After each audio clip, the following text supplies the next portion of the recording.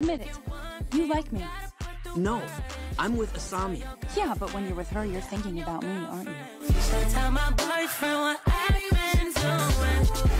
you?